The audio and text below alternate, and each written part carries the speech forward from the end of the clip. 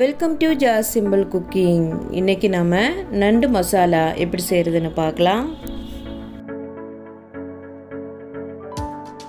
இது பண்ணுறதுக்காக நான் இங்கே வந்து அரை கிலோ நண்டு எடுத்து வச்சுருக்கேன். இப்போ நாம் இதை வந்து நல்லா க்ளீன் பண்ணி வச்சுக்கலாம். பாருங்கள் இது வந்து நல்லா க்ளீன் பண்ணியாச்சு. இப்போ நாம் இதில் கால் டீஸ்பூன் மஞ்சள் தூள் கொஞ்சமாக உப்பு சேர்த்துக்கலாம். அதுக்கப்புறமா பாதி லெமனை வந்து பிழிஞ்சு சேர்த்துக்கோங்க. சேர்த்துட்டு இப்போ இதெல்லாம் சேர்த்து நல்லா மிக்ஸ் பண்ணி வச்சிடலாம். இப்போ எல்லாம் சேர்த்து நல்லா மிக்ஸ் பண்ணியாச்சு. இப்போ இது வந்து சைடில் இருக்கட்டும். அதுக்கப்புறமா ஒரு மிக்சி ஜாரில் அரை கப்புக்கும் கொஞ்சம் குறைவாக துருவன தேங்காய் சேர்த்துக்கோங்க. கூடவே ஒரு டீஸ்பூன் ஜீரகம் ஒரு டீஸ்பூன் சோம்பு அதுக்கப்புறமா தேவைக்கேற்ப தண்ணி சேர்த்து இது வந்து நல்லா அரைச்சி எடுத்துடலாம். ரொம்ப நைஸாக அரைக்க வேண்டாம். பாருங்கள் இந்த மாதிரி அரைச்சி எடுத்துக்கோங்க. இப்போ இது வந்து சைடில் இருக்கட்டும். அப்புறமா ஸ்டவ் ஆன் பண்ணி நான் வந்து ஒரு மண்சட்டி எடுத்து வச்சுருக்கேன். இப்போ இதில் நாலு டேபிள் ஸ்பூன் அளவுக்கு தேங்காய் எண்ணெய் சேர்த்துருக்கேன். இப்போ இதில் கால் டீஸ்பூன் அளவுக்கு வெந்தயம் சேர்த்துக்கலாம். கூடவே அரை டீஸ்பூன் அளவுக்கு சோம்பு சேர்த்துக்கோங்க. கூடவே பத்துலேருந்து பன்னெண்டு பல் பூண்டு சேர்த்துக்கலாம். சேர்த்துட்டு இப்போ இதில் பதினஞ்சு சின்ன வெங்காயம் சேர்த்துக்கோங்க. இப்போது இதெல்லாம் சேர்த்து நல்லா வதக்கிடலாம். சின்ன வெங்காயம் வந்து நல்லா வதங்குற வரைக்கும் நாம் இதை வந்து நல்லா வதக்கிக்கலாம். சின்ன வெங்காயம் ஓரளவுக்கு வதங்கினதும் இப்போ இதில் ஒரு பெரிய வெங்காயத்தை சின்ன சின்னதாக கட் பண்ணி சேர்த்துக்கலாம். சேர்த்துட்டு வெங்காயம் வந்து நல்லா வதங்கி வர வரைக்கும் நாம் இதை வந்து நல்லா வதக்கிடலாம். வெங்காயம் வந்து ஓரளவுக்கு வதங்கிடுச்சு. இப்போ நம்ம இதில் தக்காளி சேர்த்துடலாம். நான் இங்கே வந்து ரெண்டு தக்காளியை வந்து ரொம்ப சின்ன சின்னதாக கட் பண்ணி சேர்த்துருக்கேன். கூடவே கொஞ்சம் கருவேப்பிலை சேர்த்துக்கோங்க. சேர்த்துட்டு நல்லா கலந்து விட்டுக்கோங்க. நல்லா கலந்து விட்டதுக்கு அப்புறமா தக்காளியை வந்து வேக வைக்கிறதுக்காக ஒரு ரெண்டு நிமிஷம் மூடி வச்சு வேக வச்சிடலாம்.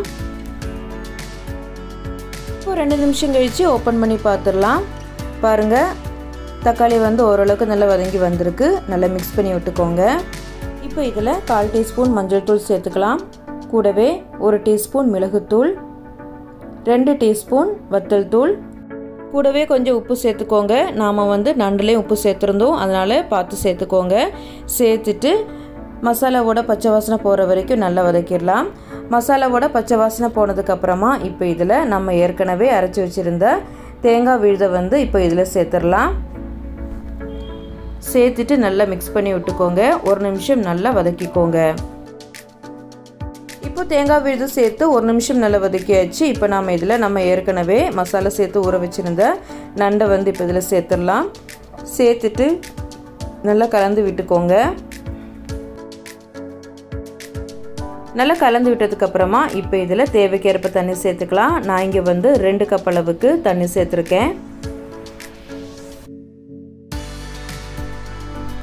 இப்போது எல்லாம் சேர்த்து நல்லா ஒரு தடவை நல்லா மிக்ஸ் பண்ணி விட்டுக்கோங்க. அதுக்கப்புறமா இப்போ நாம் இதை வந்து மூடி வச்சு வேக வச்சிடலாம். மீடியம் ஃப்ளேமில் ஒரு எட்டுலேருந்து பத்து நிமிஷம் நாம் இது வந்து வேக வச்சிடலாம். இடையில அப்பப்போ கலந்து விட்டுக்கோங்க.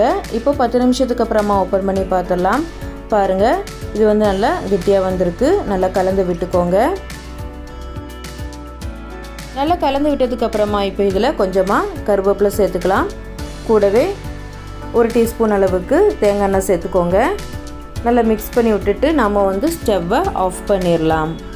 இந்த ஸ்டேஜ்லேயே ஆஃப் பண்ணிக்கோங்க. எண்ணெய் ஆறுனதுக்கப்புறமா இது வந்து இன்னும் கொஞ்சம் கெட்டியாயிரும்.